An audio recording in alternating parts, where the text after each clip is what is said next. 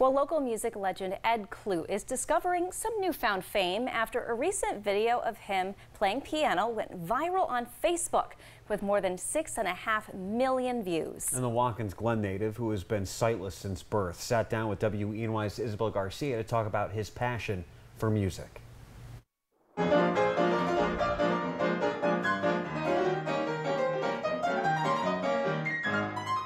Once you hear it, it's hard to turn away.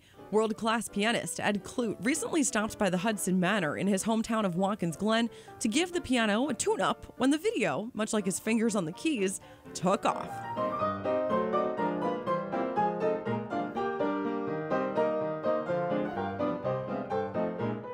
Born of the Clute family, which owned the original salt business in Watkins Glen, Ed developed a love of music at an early age.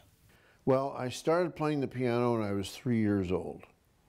My mother was my inspiration. She wanted me to, to be a musician, and uh, I started playing when I was three. She'd put me in front of the, what we call it a Victrola then, um, and listen to pianists uh, by the hour and pick up, uh, try and pick up the feeling for the instrument.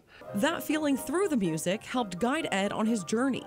Sightless since birth, the now 76 year old knew from childhood playing the piano was something he'd want to do forever. I started having formal training at age six. I was still learning by ear, but I, I, I, I, wanted to learn how to read Braille music, so then I went to the School for the Blind in Batavia, New York. From there, Ed went on to study at the renowned New England Conservatory in Boston, with his music career eventually going worldwide despite all the odds. Sometimes I'd like to be able to see, but other, other times, and I'm just as glad I don't. But uh, I, I was married, and I would have loved to been able to see my wife. I had a marriage that was unbelievable. She was so great, and we were married 32 years. Ed now works as a piano tuner and also plays at certain local spots around the region, all with the hopes of bringing some peace and joy to those willing to listen. Music has been my whole life, and uh, I've tried.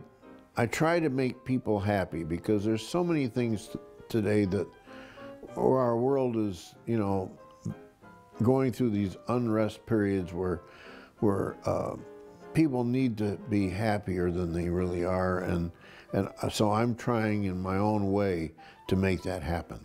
In Watkins Glen, Isabel Garcia, WENY News.